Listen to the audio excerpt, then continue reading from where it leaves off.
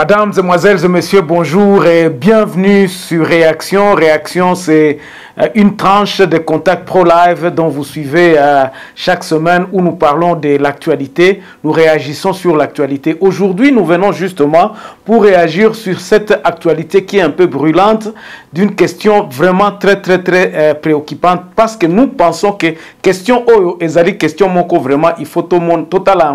na misomi balé, misomi sato.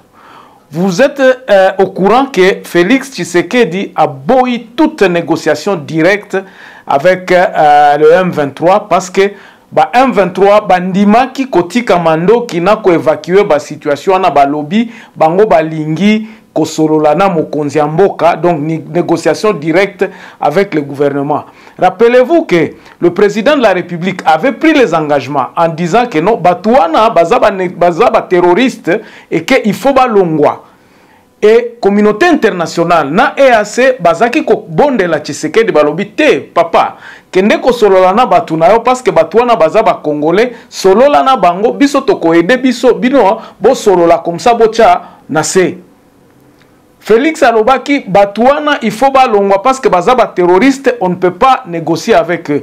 Pour le EAC, pour la communauté internationale, M23 baza ba terroristes te. C'est ça qu'il faut comprendre na eloko oyo tozolinga tolobela awa. soki tolobi ke non bato wana baza baterroriste et que nous ne pouvons pas négocier avec eux et que la communauté internationale approuve atali makambo oyo bato wana bazosala balobi ke bato wana baza baterroriste te baza barebele baza bato moko baza korevendike droit na bango c'est ça qui est toza koyokana na communauté internationale te et c'est là que Congo il faut tosala très attention parce que nous sommes en discordance avec la communauté internationale même na EAC ata ba, ba force armée wana baza koya bango nyonso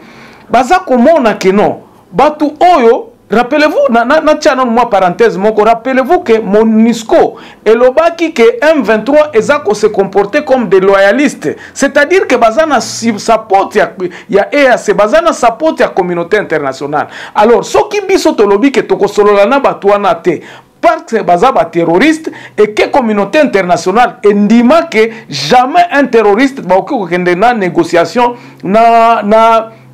dans armée ou bien na, na, légalisation ou bien na armée régulière bah terroriste il faut il faut le mater il faut le,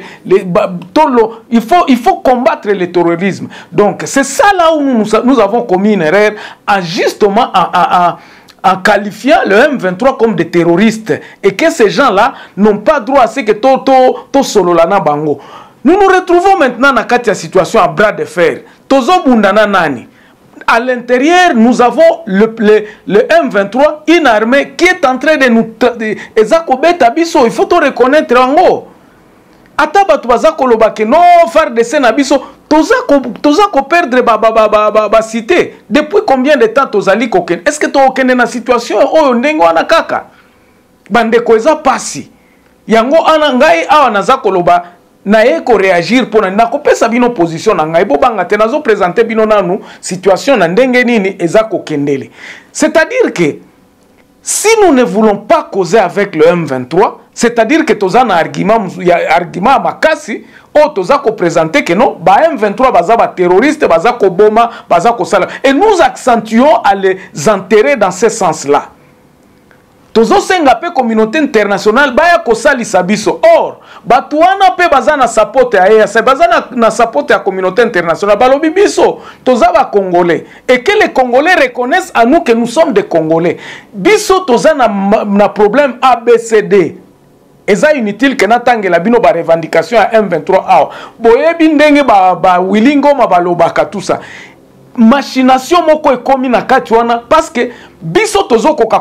komate bato wana te nous ne pouvons pas le mater et puis nous ne pouvons pas causer avec eux eza double jeu eza kosalema wana botala likambo oyo esalemi na nani na, na, na kibumba awa lobilobi awa ba M23 babetani eza ki EAC babetami na ba, bazalendo cela prouve encore une fois de plus que l'armée FARDC eza ko collaborer na ba troupes oyo tolobaka ba terroristes c'est-à-dire que l'armée euh, FARDC ecollaboraka na bato wana yango wana rwanda eza kozwa raison ya koloba ke non ça ce sont des gens qui sont en train de nous déstabiliser eza baennemi na biso eza baza, baza kosalie na baterroriste à ce moment là rwanda ezwi raison à ce moment là rwanda ezwi raison vous aviez suivi encore une, un communiqué na kati ya fardc na goma balobi tok arrete bazalendo nyonso bazalendo wana il faut nanu to récupérer bango to, tra to traine bango bakotisa bango na mais nous nous sommes précipités en disant que les bazalendo sont des réservistes et puis tolobi yango bazalendo mpe bakomi ko se prendre baréserviste ba, ba, ba, ba, pourtant ce sont des gens entre guillemets qualifiés des armées qui sont en train de tuer qui font qui, qui, qui ne sont pas légales dans notre pays bandeko c'est là où se trouve le problème Alors, il faut tout ça là, vraiment très très attention. Moi, qu'est-ce que moi je propose Moi, je ne propose pas à ce que token de négociation n'a pas M23. Non Félix a raison, mais il n'a pas raison où C'est la tactique dont il est en train de, de, de, de commettre. Azana, Azako Pourtant, nous nous avions donné les idées ici en disant, papa, il est grand temps de faire remettre le tout à zéro parce que likambo wana ekokendela na biso mosika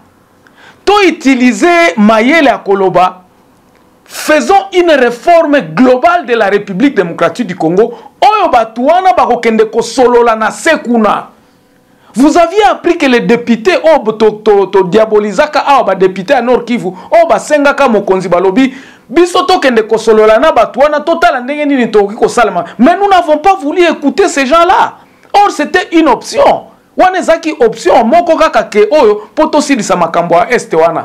le grand problème oyo euh, gouvernement ya kinshasa ekoki koya na yango mpona esilisa likambo wana ya este eza koretrocede pouvoir na niveau ya base c'est-à-dire ke entamo un processus où bacongolais bazosolola entre bango c'est-à-dire ke le congolais doivent parler entre eux et likambo ya kokende koresoudre ma makambo ya este wana totya yango na table c'est comme cela que nous nous avons dit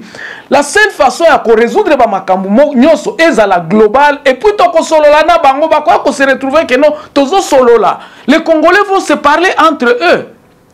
nga na, na proposaki awa retrocession ya pouvoir na niveau ya base ye moko mpe félix azaki, ko, azaki nani mais la façon de ya kotiela yango nde eza kozanga ye nous nous pensons que nous devons trouver une solution globale à ce moment là proclamons un nouveau congo où nous allons discuter sur une nouvelle constitution makambo ya baélection toza kose précipiter tozokende toza identifie te toza na alors retrocession ya pouvoir na biso schéma na biso ezali ndenge nini schéma na biso ezali keno bato nyonso na kati ya baterritoire na bango tosala ba état de lieu de chaque territoire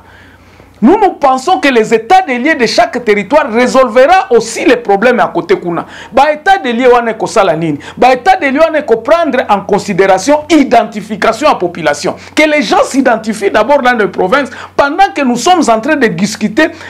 une nouvelle constitution bandeko ngai ça c'est ma proposition nalobi te ke yango nde moto ezali ezali euh, parole d'évangile non je réagis tout simplement na komona ke tshisekedi aboyi kosolola na bango c'est bien parce que ce sont des terroristes mais nous sommes dans un fait où bato wana baza mpe na support ya, ya, ya niveau ya niveau ya, ya, ya, ya, ya international na eac baforce wana ko, oyo félix akendeki koloba baya kosalisa ye baye komoni baye komona ke non tokoki koya kosalisa yo mais tokobunda na m23 te c'est connu maintenant eza libanda ezali libanda ezali te ke baza kokosa ou bien quoi que ce soit bien bazosala double g non balobaki na félix ke non tokoya koprotege bino mais tokoya kobunda na m23 te mais nous avons euh, propulsé un discours ya koloba ke non eac wana eza koya kobundela ekoya kobeta m23 non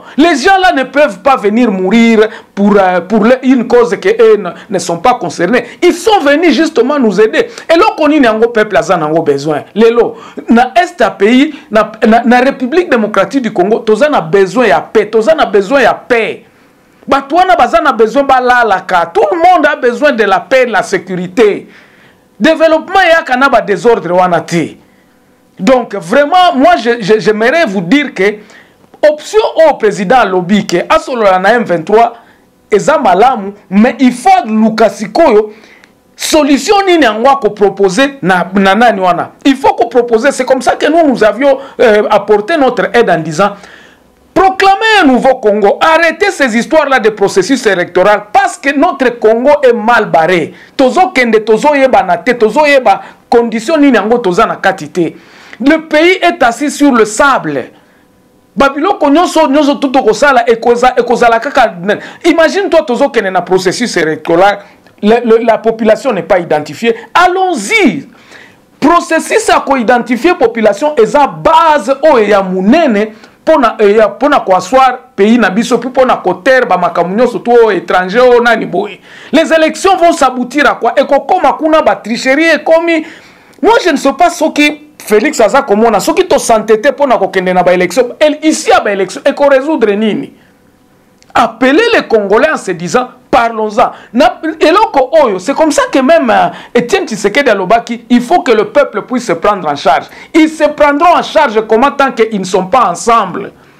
Tozo proposé que naba état des lieux et coproduire nini, et coproduire réconciliation nationale, et coproduire cohésion nationale, ou et kozala que non. à ce moment-là nous serons capables ya ko ya kosala armée ya, ya, ya sika ya malamu armée oyo eza infiltre te oyo biso nyonso tokoyebana banani baza banani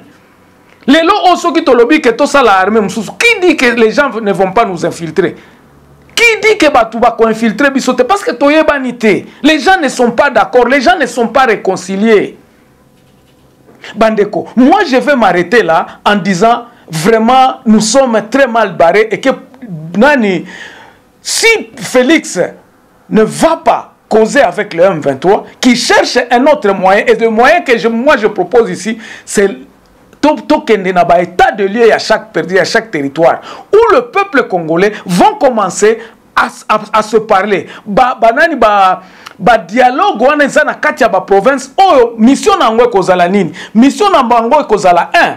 identification ya bapopulation na kati ya baterritoire na bango réconciliation na kati ya batribu ba, ba, ba, ba, oyo bavandi na kati ya baterritoire na bango et puis discussion ya nouvelle constitution bato badiscute sur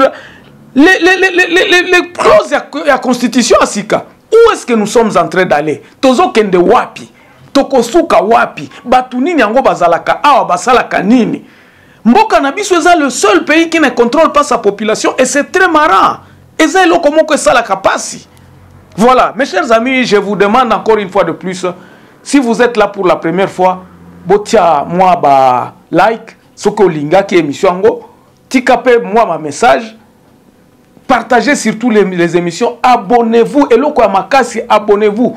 bosana te o cliquer cloche wana oyo ko avertir yo que no tango tozotia ba vidéo ya sika lobi samedi tokoya na ba développement ya sujet oyo toko développer yango malamu po totala et puis nous allons parler aussi de ce qui se passe à Lubumbashi na kati oyo ba opposants baza côté kuna merci on se revoit prochainement dans un nouveau numéro portez-vous bien au revoir